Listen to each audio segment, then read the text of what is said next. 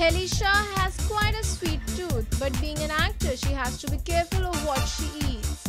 But her ideal guilt-free day is one where she can pick out an Indian sweet meats and of course intersperse that with some high-end budget-free shopping.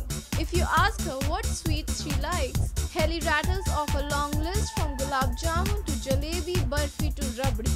Helly has to be careful about pimples and weight gain and so mostly spends time earning for such delicacies. Powered by NNIS.